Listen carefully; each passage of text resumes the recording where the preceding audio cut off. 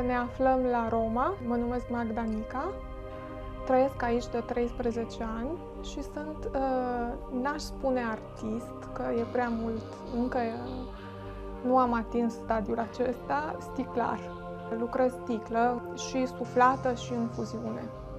Deci două procedee diferite între ele și ca tehnică și ca uh, formă finală, să zicem, pentru că cea uh, fuzionată este absolut plată, sticla suflată o știe toată lumea, deci are forme mai articulate, mai uh, complexe.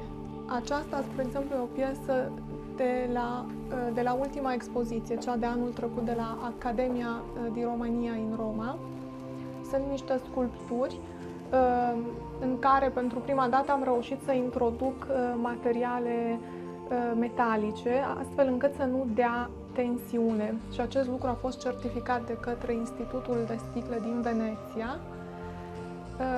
Și a fost, este o noutate absolută, pentru că de 3300-3400 de ani de când se lucrează sticla, nu, nu, a, nu s-a folosit, nu s-a putut obține acest rezultat. Panourile uh, de pe perete sunt de la expoziția de acum 2 ani, deci din 2008, uh, făcută pentru prima dată în țară, la Timișoara, împreună cu uh, una dintre cele mai bune prietene mele, um, Claudia Mandi, care este pictoriță, și am realizat absolut fără să vorbim între noi. Folosiserăm amândouă aceleași culori. Deci au fost unele piese puse unele lângă celelalte în manieră spontană. Nu, nu, și aceasta a fost partea cea mai și emoționantă pe de o parte și interesantă. Totul a început în 98, practic. Eu am venit în 97 la Roma, iar din 98 am început a aduce din țară uh, anumite piese. Însă, mergând în țară, am început să frecventez laboratoarele și cuptoarele și este uh, absolut imposibil să rămâi uh, indiferent. Faptul de a folosi focul în manieră atât de uh, creativă, dar și atât de periculoasă, pentru că este suficient o mișcare greșită și ți-ai ars amprentele digitale. Uh, din motive absolut uh, nevinovate, este incitant acest fapt și mm, excitant chiar faptul de a, de a te juca cu focul și de a obține uneori lucruri minunate sau remarcabile măcar. Eu sunt absolut autodidact din acest punct de vedere. Nu, nu am academie, deci nu am făcut studii de artă. Uh, ci numai uh, o lectură a istoriei artei. Um, iar totul, deci tehnica am căpătat-o numai muncind, absolut. Deci fără, fără uh, a studia la, la Belle Arti.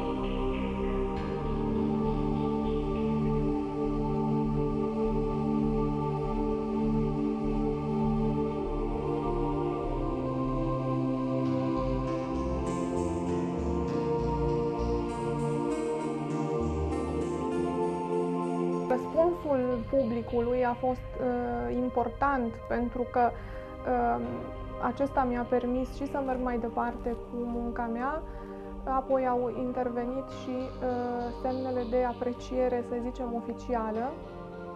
Anul trecut, în urma acestei expoziții de la Academie, uh, mi s-a decernat un premiu din partea Primăriei Romei Uh, ca, ca cel mai bun artist străin care lucrează și trăiește la Roma de 2009. Se cheamă Premio Baiocco.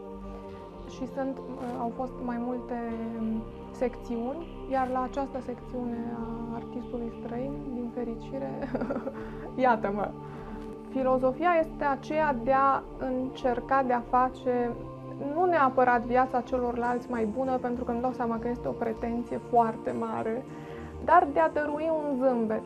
Cea mai mare bucurie mi se face când vin persoanele și pregetă să plece, pentru că rămân și se uită, ating obiectele și spun că aici este plin de culori și că este o energie bună și pozitivă și se simt bine, apoi se întorc unii după ani.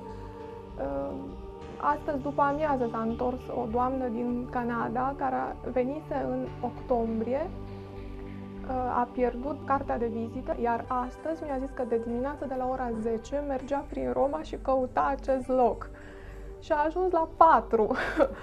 Deci, ehm, mi s-a părut minunat acest lucru.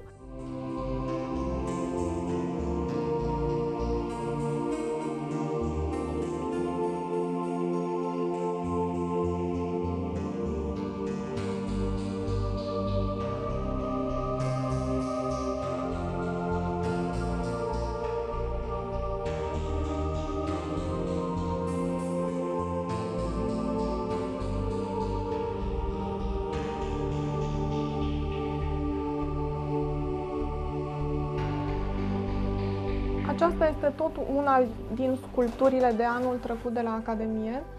Uh, aceasta este o planetă, deci au fost uh, mai multe planete, uh, iasomii, minerale și aceasta este ultima planetă rămasă, celelalte au mers ambele în Statele Unite. Expoziția de anul trecut în parte a fost dedicată elementelor fundamentale.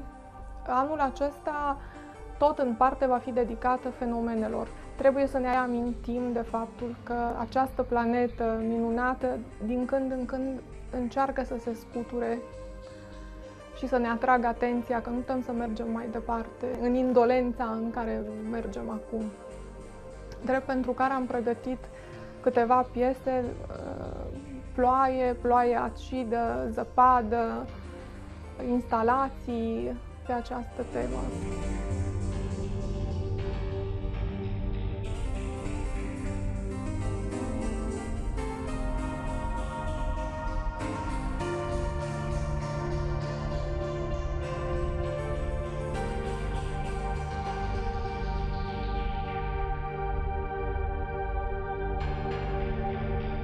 95% din bijuteria prezentă aici este făcută de mine. Fiecare din noi ar trebui să avem intenția de a, de a aduce un zâmbet și de a încerca să ușurăm puțin viața celorlalți, să le o facem timp de o clipă mai, mai luminoasă, să le aducem un zâmbet. Cred că în, în orice condiții sau în orice timp uh, istoric sau pozitiv, negativ, uh, este singurul mod de a ne face să mergem mai departe și să și evoluăm ca specie. Românilor din Canada, pe care îi salut uh, cu drag, evident, uh, aș vrea să le reamintesc acest lucru, și anume că sunt um, um, privilegiați pentru că au posibilitatea de a locui într-o limbă diferită, și de a locui și într-o țară diferită, drept pentru care această experiență de viață nu poate uh, decât să-i, să-i îmbunătățească, probabil. Amintesc numele unei prietene, asemenea uh, artist plastic, și anume Ortan Samuraru, pe care o salut cu drag și sper să o văd curând la Roma cu expoziție, așa cum vorbeam.